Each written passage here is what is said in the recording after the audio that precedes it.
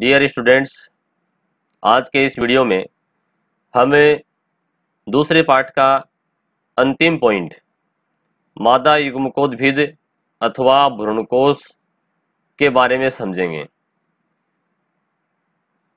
इसके लिए हम पहले अपने जो पार्ट है, उस पार्ट को एक बार थोड़ा सा देखते हैं। पाठ का नाम है नर एवं मादा युग्मकोद्भिद संरचना एवं विकास। तो पिछले वीडियो में हमें नर के बारे में पढ़ चुके हैं और मादा युग्मकोद्भिद के लिए भी अपन दो वीडियो अलग से डाल रखे हैं। तो यहाँ पर हम जो मादा युग्मकोद्भिद है, उसमें भ्रूणकोश की संरचना के बारे में जानकारी प्राप्त करेंगे। तो मादा युग्मकोद्भिद जो है, ये मेन पॉइंट अपना पार्ट का जो दूसरा पार्ट है, वो है उसके तीन इसमें पॉइंट दे रखे हैं। एक तो अंडपिया अथवा गुरु बीजाणुपरण ठीक है? इसके बारे में अपन ने पढ़ा था कि अंडपिया गुरु बीजाणुपरण बोल दीजिए, या फिर चाहे इसको स्त्री के केसर बोल दीजिए की बात है। दूसरा इसमें अपन ने पढ़ा था इसी के अंदर था बीजांड की संरचना, जो कि यहाँ अपने इस प्रकार से आपको दिखाई दे रही है। तीसरा इसी में था बीजांड के प्रकार, ठीक है, जो कि अपन ने पिछले वीडियो में पढ़ा था। और दूसरा जो पॉइंट है, वो अपन ने पढ़ा था गुरु बीजाणु जनन। ठीक है? इसका अलग से वीडियो है। और तीसरा जो पॉइंट अंतिम पॉइंट है, वो है मादा मुकोद्भिद अथवा भ्रूणकोश। अब देखिए अपन थोड़ा सा इसको, ये इसमें, ये जो तीन पॉइंट है, इनको अपन अपने नोट्स के अकॉर्डिंग देखें। तो अपन नोट्स की बात करें तो चलिए नोट्स में चलते हैं अपन। ये रहा मादा मुकोद्भिद की संरचना विकास? इसमें अपन ने अंडा इस तरीके से या गुरु बीजाणु के बारे में पढ़ा। ये आपको दिखाई दे रहा है डायग्राम में ये अंडप यानी कि तीन भाग है वर्तिकागर वर्तिकार अंडाशय ये संरचना आपको दिख रही है, ये वाली। इसको बढ़ा करके अपन ने यहाँ दिखा दिया। इसके अंदर ये बीजांड होता है, ठीक है, ये पूरा बाहर वाला अंडाशय है, और अंडाशय में क्या है, ये अंदर ये बीजांड है, ठीक है अंडाशय फल बनाता है, बीजांड बीज बनाता है। और इसके जो तीन पार्ट हैं वर्तिकागर वर्तिकार अंडाशय के बारे में अपने अपने बुक से डिटेल से पढ़ा था। इसके बाद में यहाँ पर, जो इसमें पहला पॉइंट आता है, बीजांड या गुरु बीजाणु धानी की संरचना। बीजांड बोल दीजिए या गुरु बीजाणु धानी बोल दीजिए, उसकी संरचना देखो इस प्रकार से। अपन ने पूरा समझा था इसको। ठीक है ना? ये बीजांड की संरचना है और इसके अंदर यहाँ पर ये ये भ्रूणकोश या मादा विमुकोद्भिद ठीक है ना? आज इसके बारे में अपन पढ़ने जा रहे हैं। तो चलिए देखते हैं आगे भी इसके अंदर बीजांड के फिर अपने प्रकार पढ़े थे। अपने सिलेबस में मुख्य रूप से छह प्रकार हैं। ठीक है? और इससे जो पिछला वीडियो था, उसमें अपन ने गुरु बीजाणु जनन के बारे में पढ़ा था, किस प्रकार से गुरु बीजाणु बनता है। तो उसकी जो प्रोसेस थी एक बार थोड़ा सा अपन देख लेते हैं शॉर्ट में। कि तो बीजांड काय के अंदर एक परपसु कोशिका या आर्चिस पुरिल इनिशियल सेल होती है। वो विभाजन करके दो कोशिकाएँ बनाती है, एक तो प्राथमिक भित्ति कोशिका, दूसरी प्राथमिक बीजाणुजन कोशिका, ये वाली। प्राथमिक बीजाणुजन कोशिका जो है, वो आकार में धीरे धीरे बड़ी हो जाती है, ठीक है? और वो गुरु बीजाणु मात्र कोशिका बनाती है। गुरु बीजाणु मात्र कोशिका लगातार दो बार अर्सूत्री विभाजन करेगी, अर्सूत्री प्रथम और अर्सूत्री द्वितीय। ठीक है? और चार गुरु बीजाणु बनाती है, एक, दो, तीन और चार। उसमें से ये जो निभाग की ओर वाला गुरु बीजाणु है, ये क्रियात्मक सक्रिय होता है। बाकी ऊपर वाले तीन जो है, जो बीजाणु द्वार की ओर है, वो निष्क्रिय होते हैं। इतना सब कुछ अपन ने पहले पढ़ लिया था। अब आज का जो पॉइंट है, वो है मादा मुकोद्भिद या भ्रूणकोश इसमें दो पॉइंट है। मादा युग्मकोद्भिद का परिवर्तन कैसे होता है? यानी कि मादा युग्मकोद्भिद या भ्रूणकोश कैसे बनता है? और दूसरे में पढ़ेंगे अपन भ्रूणकोश की संरचना कैसी होती है। ठीक है? तो अपन, अपनी जो पाठ्य पुस्तक है, उसी की अपन लाइन टू लाइन जो है उसको पढ़ेंगे। अपने नोट्स के अकॉर्डिंग जो डायग्राम है, उसमें भी उसको समझेंगे। तो पहले अपने इस डायग्राम से समझने का प्रयास करते हैं जो कि अपने नोट्स में है। देखिएगा मादा युग्मकोद्भिद बोल दीजिए या भ्रूणकोश बोल दीजिए। इसका परिवर्तन का होता है? विकास कैसे होता है? ये कैसे बनता है? तो पिछले वीडियो तक अपने यहाँ एक बार दोबारा लेके चलूँगा आपको मैं। ये जो गुरु बीजाणु मात्र कोशिका है सॉरी ये रहा, ये है गुरु बीजाणु मात्र कोशिका और ये अर्धसूत्री विभाजन करके गुरु बीजाणु बनाती है। ये गुरु बीजाणु रहा। ये गुरु बीजाणु जो है यही आगे भ्रूण कोष बनाएगा। देखते हैं कैसे। देखिएगा डायग्राम के अंदर, ये यहाँ पर ये बीजांड की संरचना पूरी है, ठीक है ना? यहाँ पर ये बीजांड व्रंथ है, ठीक है ना? यहाँ पर ये नाभिका जिसको कहते हैं, इधर ये निभाग है इसका। ये सारी बातें इसमें। और यहाँ पर ये जो तीन जो कोशिकाएँ हैं, तीन गुरु बीजाणु जो हैं, ये दिख रहे हैं आपको, ये निष्क्रिय होते हैं। और ये इधर जो निभा की तरफ़ जो इधर है, इस साइड में, ये गुरु बीजाणु सक्रिय होता है। ठीक है? और इसमें एक केंद्रक है जो कि अगुणित है, क्योंकि यह अरसूत्री वादन से बना है गुणसूत्रों की संख्या इसमें आदि है। एन लिख सकते हैं अपन यहाँ पे। तो देखिएगा, यहाँ पर ये जो इसमें एक केंद्रक है, ये केंद्रक तीन बार समसूत्री विभाजन करेगा। प्रथम समसूत्री विभाजन में एक केंद्रक जो एक था इसमें, इस एक से दो केंद्रक बन गए ठीक है? दो अगुणित केंद्रक बन गए एक छोटी बीच में ये बन रही है रिक्तिका। ठीक है? ये रिक्तिका धीरे धीरे बड़ी हो रही है, देखो, ये इसमें बड़ी हो गई। और प्रथम समसूत्री विभाजन से फिर दूसरा समसूत्री विभाजन होगा। उससे इस केंद्रक से दो बन जाएँगे और इस केंद्रक से भी दो केंद्रक बन जाएँगे। ठीक है ना? तो दो इधर दो इधर चार बन गए। चार अगुणित केंद्रक चारों अगुणित है। ठीक है? और ये रिक्तिका का आकार धीरे धीरे बढ़ रहा है। फिर तीसरा अर्सूत्री तीसरा समसूत्री विभाजन होगा। तो यहाँ पर ऊपर जो दो दो कोशिकाएँ दिख रही थी आपको, ये एक एक कोशिका यानी कि इधर दो से चार बन जाएँगी। और इधर भी दो से नीचे वाली चार बन जाएँगी। और ये रिक्तिका का आकार बड़ा हो गया। ठीक है? अब ये चार और चार कुल आठ कोशिकाएँ हैं। अब ये आठों कोशिकाएँ जो हैं, इनमें से देखिए चार जो हैं, चार में से एक बीच में आ जाएगी। नीचे वाली जो चार है बीजाण द्वार की ओर जो चार है, इनमें से भी एक बीच में आ जाएगी। ये यहाँ पर देखो, दोनों कोशिकाएँ बीच में आ गई। इधर बची तीन। ठीक है? तीन इधर बच गई और तीन इधर बच गई। अब देखिए, जो खास बात है समझने वाली वो है बीजाण द्वार की ओर इधर बीजाण द्वार है। इधर जो ये तीन कोशिकाएँ हैं, इन्हें कहते हैं अंड समुच्चय ठीक है? अंड समुच्चय कहेंगे। इनमें ये दो जो साइड में जो कोशिकाएँ हैं, ये तो कहलाती है सहायक कोशिका और बीच में जो कोशिका दिख रही है, ये कहलाती है अंड कोशिका या मादा युग्मक। ठीक?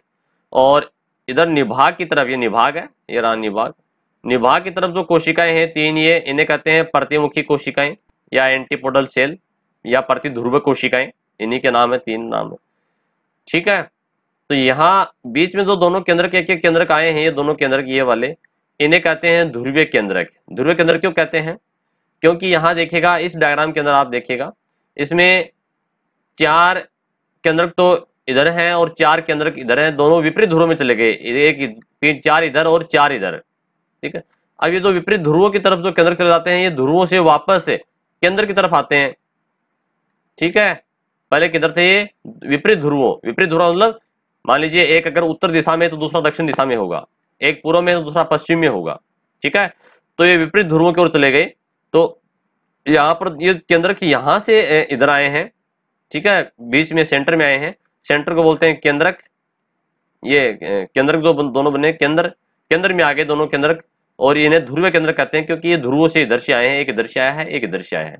इसलिए इनको ध्रुव केंद्र कहते हैं ध्रुव केंद्र कहाँ होते हैं? केंद्र में होते हैं, केंद्र यानी कि बीच में होते हैं। देखिएगा, ये तो पूरा दिख रहा है आपको, भ्रूणकोश। ठीक है, पूरा भ्रूणकोश है ये वाला। जो सफ़ेद पार्ट आपको दिख रहा है, भ्रूणकोश में केंद्र में होते हैं ध्रुवीय केंद्रक। क्लियर अब देखिए, अपन अपनी जो पाठ्य पुस्तक है, उसमें लाइन टू लाइन पढ़ेंगे और अपनी किताब के अंदर भी इसका डायग्राम दिया हुआ है, उसको भी समझने का प्रयास करेंगे। तो चलिए, चलते हैं अपन अपने पाठ्य पुस्तक में। ये लीजिए। ये अपनी हेडिंग है मैन हेडिंग क्या है? मादा युग्मकोद्भिद अथवा भ्रूणकोश। इसमें लिखा है, सक्रिय अगुणित गुरु बीजाणु मादा युग्मकोद्भिद की प्रथम कोशिका होती है। देखिए, यानी कि यहाँ पर ये इसकी बात कर रहा है। नीचे एक डायग्राम बना हुआ है, उसको अपन देखते हैं।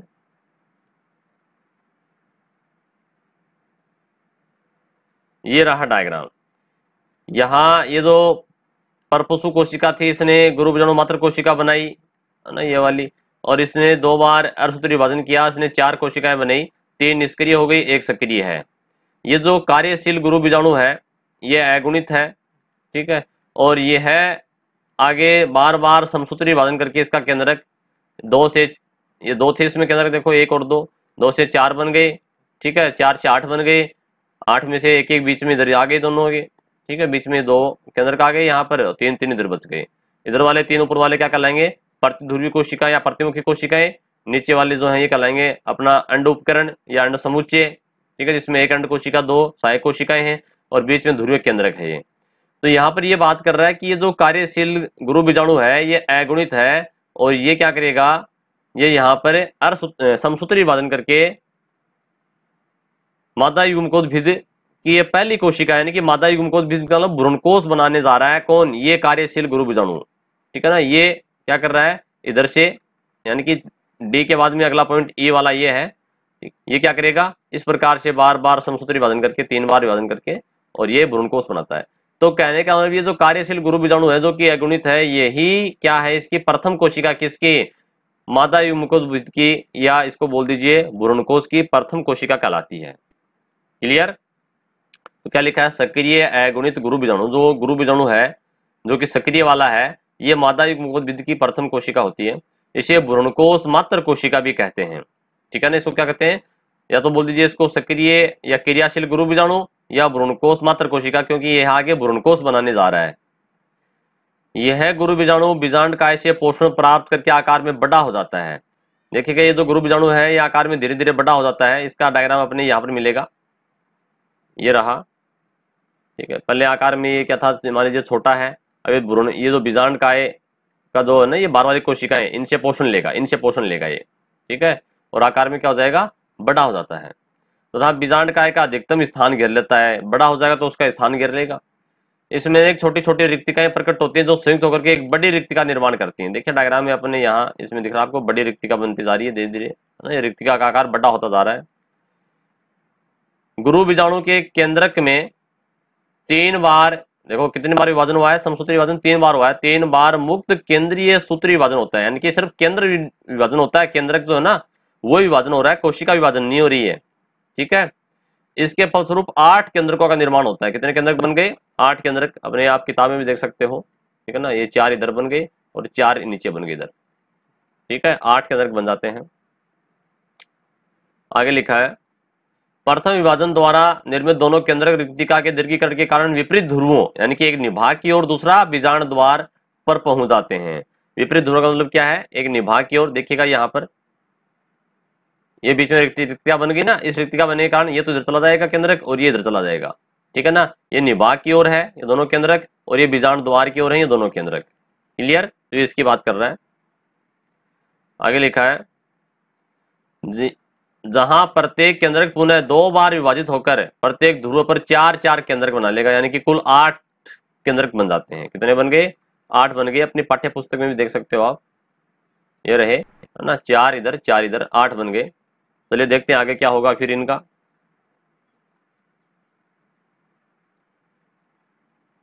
आगे लिखा है, इस अवस्था तक सभी केंद्र एक सामान्य कोशिका ध्रुव में होते हैं। यानी कोशिका ध्रुव के अंदर है सारे। प्रत्येक ध्रुव पर स्थित चार केंद्रकों में से एक एक केंद्र कोशिका के मध्य में आकर ध्रुवीय केंद्रक बनाते हैं। देखिएगा, अभी बताया था अपन ने कि यहाँ पर इस प्रकार से ये ये चार और ये चार इनमें से एक एक बीच में आ जाएगा, इसमें से एक आ जाएगा, इसमें से आ जाएगा और ये ध्रुवीय केंद्रक बनाते हैं बीच में। क्लियर तत्पश्चात दोनों केंद्रक संयुक्त होकर द्विगुणित द्वितीय केंद्र का निर्माण करते हैं। अब थोड़े समय पश्चात ये दोनों केंद्रक जुड़ जाएँगे, जो कि अलग अलग केंद्र के दोनों ये ये दोनों ही जुड़ करके आगे क्या कर लेंगे? द्वितीय केंद्र बनाएँगे द्वितीय केंद्र जो कि द्विगुणित होगा, क्योंकि एन और एन दो केंद्र के मिलने से क्या बन गया? टू एन बन गया। ठीक है ना? एक एन और दूसरा एन दो अगुणित केंद्रकों के मिलने से टू एन यानी कि द्विगुणित बन जाता है, और इसे अपन द्वितीय केंद्र कहते हैं। इसे संलीन केंद्रक भी कहते हैं। एक नाम और इसका, संलीन केंद्रक भी इसको कहा जाता है। बीजाण द्वार के सिरे पर स्थित तीन केंद्रक, देखो इधर बीजाण द्वार इधर वाले इसकी बात कर रहा है और ये इधर तीन निभाग की ओर है। ठीक है, तीन केंद्रक अंड समुच्चय अथवा अंड उपकरण कहलाते हैं। अपने नोट्स में देखें अपन इनको। ये रहे, ये बीजाण द्वार है ना इधर, ये रहा बीजाण द्वार। इसकी ओर तीन की बात कर रहा है। ठीक है, इसको अंड समुच्चय या अंड उपकरण कहते हैं। आगे लिखा है, इस समय भित्ति का निर्माण, भित्ति निर्माण द्वारा ये कोशिकाओं में परिवर्तित हो जाते हैं। अब देखिए, पहले तो ये केंद्र, यानी कि स्वतंत्र अवस्था में थे ठीक है? अब इन प्रत्येक केंद्र के चारों ओर कोशिका की भित्ति बन जाती है, ये कोशिकाएँ बन जाती हैं। ठीक है, ये अंड कोशिका, ये दोनों सहायक कोशिकाएँ तो इनके चारों तरफ़ भित्ति बननी शुरू हो जाती है। पहले तो ये क्या होते हैं? केंद्रक होते हैं केवल। ठीक है? देखिए, यहाँ पर ये इसके, यहाँ केंद्रक है चारों, और इन तीन जो है, तीन के चारों तरफ़ भित्ति बन गई आपको भित्ति नज़र आ रही है? देखो, ये रही भित्ति। ठीक है? इसके इधर भित्ति इधर भित्ति। है ये भित्तियाँ बन जाती हैं। और भित्ति बनने से कोशिका कहलाएँगी। ठीक है? भित्ति निर्माण द्वारा कोशिकाओं में परिवर्तित हो जाते हैं। अंड समूचे में एक अंड कोशिका, देखो बीच वाली ये जो अंड कोशिका है, और दो सहायक कोशिकाएँ होती हैं, दोनों ये जो है ना, ये ये सहायक कोशिकाएँ हैं। क्लियर इसी प्रकार निभागी सिरे पर जो निभाग के इसकी बात कर रहा है, स्थित तीन केंद्रक संगठित होकर तीन कोशिकाओं का निर्माण करते हैं, जिन्हें प्रतिमुखी कोशिकाएँ या एंटीपोडल सेल्स कहा जाता है। ये रही प्रतिध्रुव कोशिकाएँ बोल दीजिए, या प्रतिमुखी कोशिकाएँ बोल दीजिए, तीनों कोशिकाओं को इनकी बात कर रहा है। अधिकांश आवर्त बीजी पात्रों में भ्रूणकोश का परिवर्तन इसी प्रकार से होता है, इसे एक बीजाणविक पोलीगोनम प्रकार कहते हैं। बहुत इंपॉर्टेंट लाइन है। इसको क्या, कौन सा प्रकार दिया गया? है पोलीगोनम टाइप ठीक है ना? यानी कि एक बीजाणविक पोलीगोनम प्रकार इसको कहा जाता है। आगे देखिएगा। इस प्रकार परिवर्तित पोलीगोनम प्रकार का भ्रूणकोश या स्त्री युग्मकोद्भिद सात कोशिकीय तथा आठ केंद्र की होता है। देखिए, बहुत इंपॉर्टेंट लाइन है ये। क्वेश्चन कई बार एग्ज़ाम में पूछा गया कि पोलीगोनम प्रकार का जो भ्रूणकोश है, उसमें कोशिकाएँ और केंद्रकों की संख्या कितनी होती है? तो सात तो कोशिका है और आठ केंद्रक हैं। अब आप कहोगे कैसे? चलिए देखते हैं, अपन अपने पाठ्य पुस्तक में देखेंगे पहले। ये तीन कोशिका तो आपको दिख रही हैं और तीन कोशिकाएँ इधर बन गई, एक अंड कोशिका दो सहायक कोशिकाएँ। कोशिका का मतलब क्या हुआ? चारों तरफ़ भित्ति बन गई। पहले केंद्र फ्री थे, ठीक है ना? केंद्र कितने केंद्र का आठ है। और दो केंद्र इसमें है, और दोनों केंद्र को चारों तरफ़ भित्ति बन गई।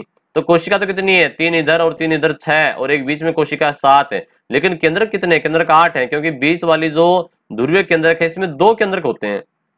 ठीक है ना? इसमें दो केंद्र होते हैं, कोशिका एक ही है। एक कोशिका में दो केंद्र हो गए। तो यहाँ पर कहने का मतलब यह है कि तीन और तीन छह और एक सात तो कोशिका और आठ के अंदर होते हैं किसमें? पोलिगोनम प्रकार के भ्रूणकोश में। ठीक है, इसको अपने नोट्स में देखें, चलिए।